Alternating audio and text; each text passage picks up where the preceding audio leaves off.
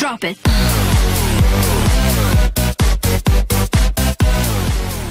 Hello, welcome back. For today's example, I'm going to show to you how we work with line feeds and carriage return. But let's look at the definition first. So a line feed means moving one line forward. So in some programming language, if you see backslash n, it means that you move line forward, backslash n, right? And then we also have here carriage return means moving the cursor to the beginning of the line. In some cases, you use backslash r for the codes here.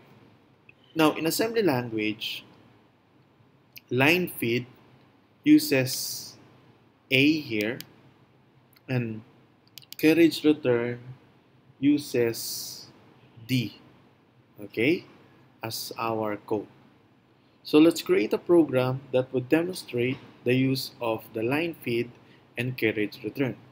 Now I'm going to display my name again. So before we had this example displayed on a single line, now we're going to have it or we're going to apply the use of the line feed and carriage return. So let's start. So you press debug here. Now let's start with our assembly instruction. First thing that we have to uh, type is for us to request to display a single character or a character. That is to type here move AH then 02. The next is we're going to display our first character. In this, in this way, we type here move DL and that is 48. So that's capital letter H. Next is we're going to type here interrupt 21. Okay? Then after that, we need to call now the line feed. So we have to type here move DL and then OA. Okay? That is the hexadecimal value of our line feed. Then execute it, interrupt 21, enter, and then followed by a carriage return which is in a move DL OD. Okay, so that is the hexadecimal value of our carriage return. Now, then you also need to type here interrupt 21 to call the interrupt service. Enter. So that's our first character. Let's now proceed to our second character. Move DL 61 interrupt 21 then let's call our move DL OA for our line feed. Interrupt 21 move DL OD for our carriage return. Interrupt 21 so that's our second character. Moving to our third.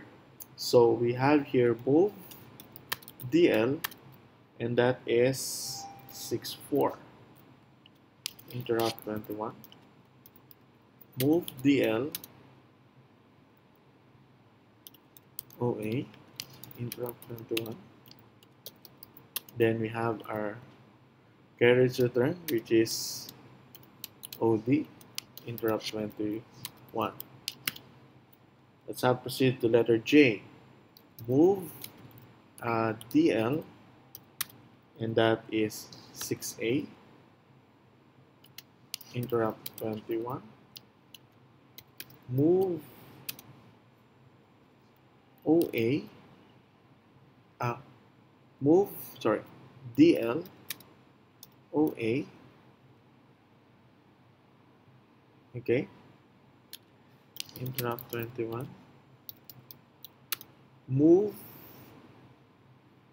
DL OD 21 and let's have the last letter which is I.